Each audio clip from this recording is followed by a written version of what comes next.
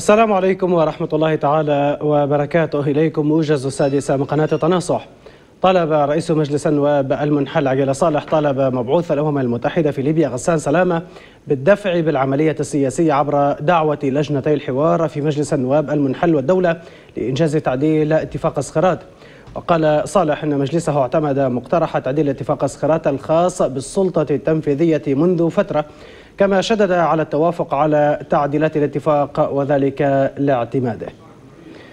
اجتمع عضو الرئاسي المقترح عبد السلام كجمان الخميس باللجنة الوزارية المشكلة بشأن أحداث مدينة سبها للتواصل مع الأطراف المتنازعة لوقف إطلاق النار والعمل على تهدئة الوضع وفتح ممرات آمنة لوصول الخدمات الإنسانية والوقود لسبها ومناطق الجنوب بشكل عام.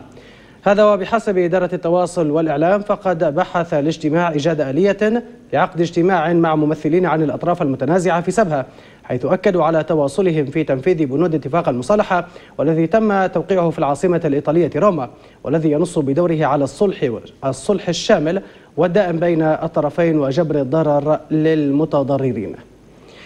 في خبر آخر أصدرت قبيلة القطعام بالشرق الليبي بيانا الخميس حول الأوضاع السياسية في ليبيا عبرت فيه عن تمسكها بوحدة التراب الليبي وأكدت على ثوابت الوحدة الوطنية.